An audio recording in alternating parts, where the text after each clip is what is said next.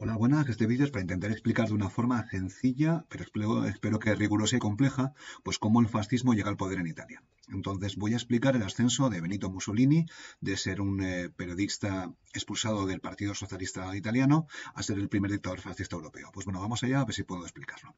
En primer lugar, para entender el ascenso del fascismo en Italia, nos tenemos que remitir a la Gran Guerra, la Primera Guerra Mundial, de 1914 a 1918. Entonces, Italia participó en esta guerra, que fue terrible, eh, un poco más tarde.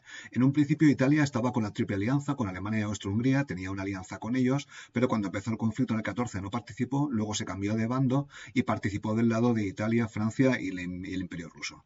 Entonces los combates de Italia tuvieron lugar sobre todo en los Alpes, entre el Imperio Austrohúngaro y e Italia, el Frente Alpino que se llama, y como el resto de países, pues sufrió un coste humano altísimo. Hubo centenares de miles de muertos, de heridos, costes materiales increíbles, y bueno, en la guerra eh, tuvo unas consecuencias sociales, económicas, políticas y culturales como el resto de países. Y respecto al movimiento obrero, pues lo rompió. Entre los eh, obreros más internacionalistas, cuando hablo de movimiento obrero, hablo de las izquierdas, entre los más internacionalistas que pensaban que la guerra era un conflicto entre capitalistas, entre burgueses, y obviamente querían ser neutrales, no querían participar, y aquellos obreros del movimiento de izquierda más nacionalistas que consideraban que había que apoyar a Italia en estos momentos de, pues de terrible guerra contra un enemigo exterior.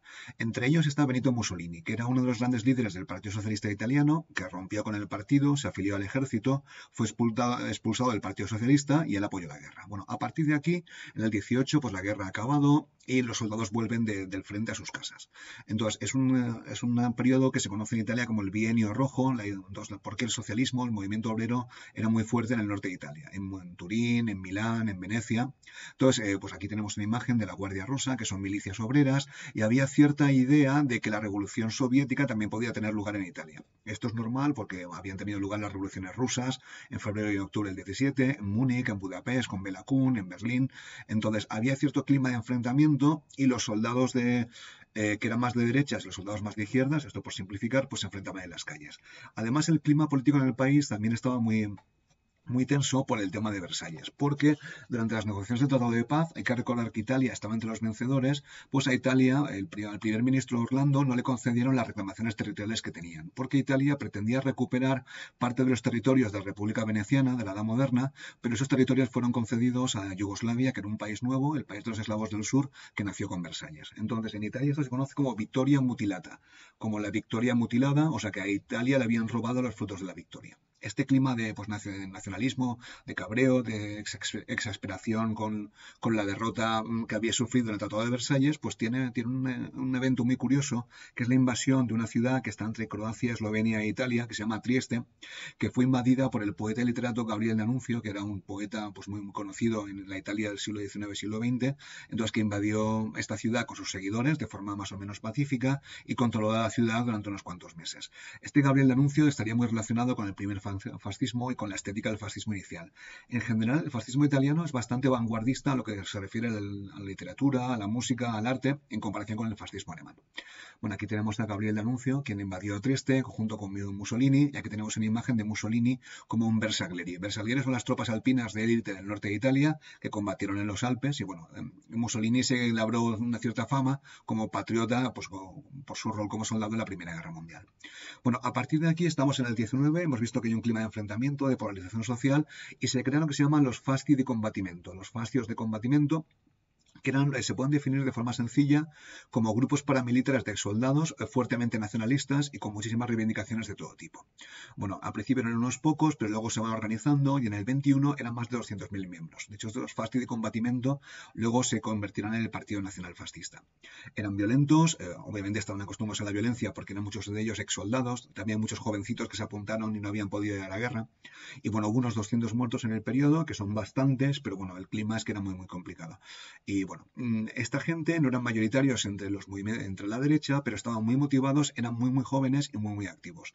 De hecho, uno de los principales signos fascistas italianos se llama Giovinezza, que creo que en italiano significa la juventud, que es uno de esos que eso refleja pues la juventud tanto del movimiento de fasti de combatimiento, que eran más o menos se puede considerar de derecha nacionalista o anticapitalista, y luego los movimientos de izquierda. Eran gente muy joven, muy cabreadas por la situación, y se les puede entender porque la guerra había sido terrible, y que buscaban pues un cambio de régimen del país no estaban contentos con la democracia liberal que habían disfrutado, sufrido hasta el momento. Bueno, otra forma de reconocerlos se llama los escuadristis, son los escuadrones, los camisas negras, esta gente eran paramilitares, se vestían de una forma pues con unas camisas negras, con lo cual así fueron conocidos.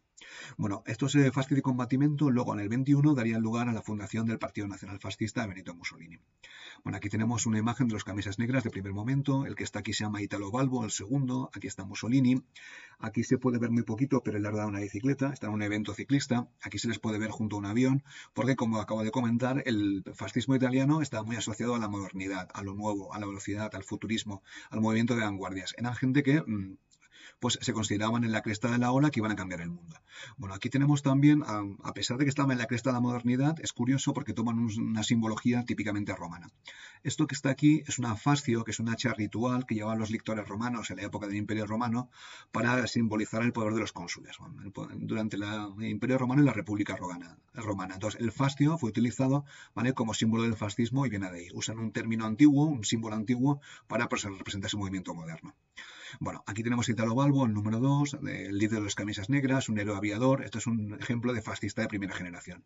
Bueno, aquí se le puede ver que ya estaba, era amigo de los nazis porque le habían concedido una medalla que está bastante mayor. Bueno, entonces, ahora voy a poner un texto de del programa del primer fascismo. Creo que se llama el programa de Santo Sepulcro. Aquí todavía el partido fascista no había sido fundado, ¿vale? Y se le puede ver abajo el programa político de los fasci italiani di combatimiento, de agosto del 19. Entonces, voy a leer algunas de las reivindicaciones. Por ejemplo, sufragio universal, por ejemplo, inmediata aprobación de la ley que garantiza seguro en la jornada de ocho horas, establecimiento de un salario mínimo. Aquí, por ejemplo, a nivel de finanzas o del capital, establecimiento de un fuerte impuesto sobre el capital como nivelador parcial de la riqueza, confiscación de todos los bienes propiedad de las órdenes religiosas, revisión de los contratos de la guerra. Entonces, se puede ver que en este primer fascismo había, bueno, obviamente eran muy, muy nacionalistas, pero también tenía rasgos anticapitalistas. En este sentido, no es, muy, es bastante parecido al primer fascismo alemán.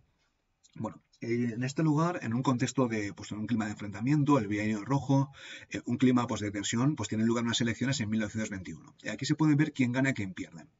Los ganadores de las elecciones son el Partido Socialista Oficial, Partido Socialista Oficial, espero haberlo dicho bien, el PSU, que tiene el 24% de los votos. En segundo lugar, el Partido Popular Italiano, que ahora hablaré más de él.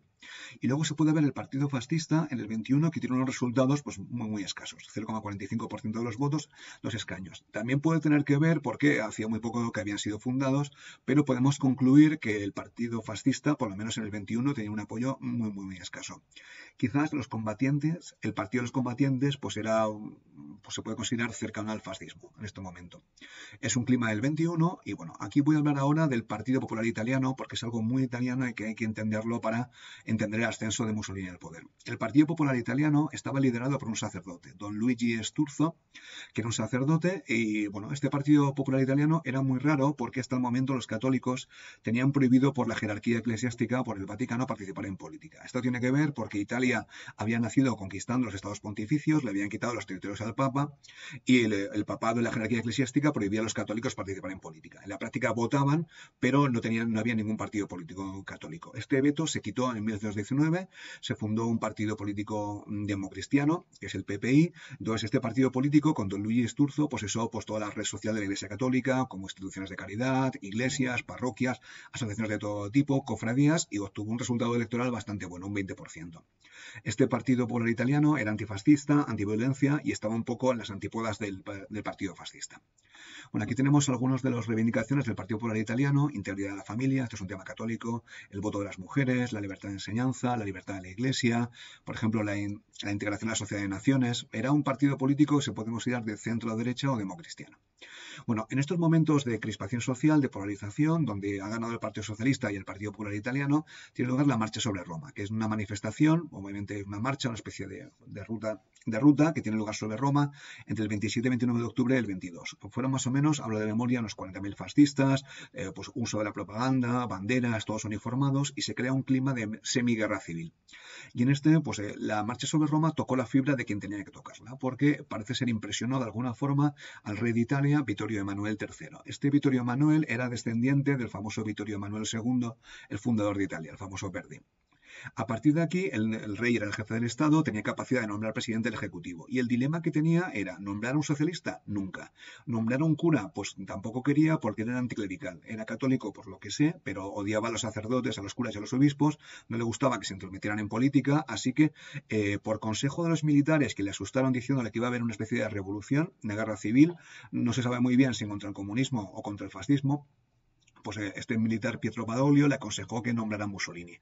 Eh, pues eh, nombra a Mussolini, a Benito Mussolini presidente del gobierno, del ejecutivo, a pesar de que tenía un apoyo parlamentario absolutamente escaso.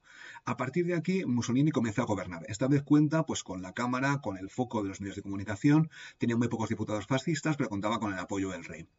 fue presidente de gobierno muy joven, 39 años, él era un muy buen político, era un periodista, comunicaba bastante bien. A mí no me gusta especialmente, pero se ve que en Italia pues tocaba bastantes fibras y luego después Mussolini eh, se mostró bastante respetuoso con el rey. Él personalmente lo detestaba, lo consideraba pues un reducto del pasado, la aristocracia, los, eh, los fascistas eran bastante republicanos, casi todos ellos, pero bueno, él supo ser bastante inteligente y le trató con respeto porque sabía que el rey lo podía destituir en cualquier momento y, hacerle convocar elecciones. Bueno, a partir de aquí empieza a maniobrar y empieza y bueno, la principal maniobra política que tiene lugar, que, ejecuta Mussolini, es la creación de una nueva ley, electoral. Esta ley electoral se encarga un ministro, el ministro Acervo, por eso se llama la ley Acervo, que era una ley electoral que primaba al partido mayoritario. Entonces, eh, primaba el partido mayoritario, además tenía los recursos del poder, contaba con el control de la policía. Mucha gente consideraba que el partido fascista iba a traer el orden, así que en las elecciones que tienen lugar en el 24, tres años después del 21, el Partido Socialista Unificado tiene 24 escaños, un muy mal resultado, el PPI 39 escaños y luego después el Partido Nacional Fascista, la fuerza mayoritaria con más de 300. Tiene que ver con el sistema electoral, pero también tiene que ver con eh, el Partido Fascista Italiano se convirtió en una especie de se convirtió en respetable durante este periodo, más o menos. Eh, en otros momentos, Mussolini intentó, bueno, ocultó las características más anticapitalistas, más radicales del primer fascismo italiano.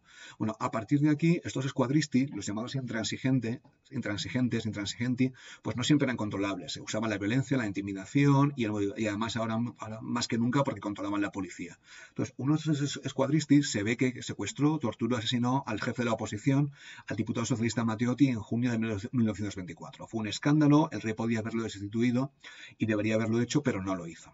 Aquí tenemos una imagen de Matteotti, asesinado el 24, era líder del Partido Socialista Italiano, del PSU, una persona también muy joven, como todo el mundo en esta época. La juventud es una de las características de las revoluciones y bueno, a partir de aquí el PSU básicamente está retirado. Se retira Craso horror, bueno, lo hubieran expulsado igualmente, pero a partir de ahí se suprime, se suprime el PSU, los sindicatos, las libertades civiles, y a partir de aquí los socialistas y comunistas pasan a la oposición y a la clandestinidad.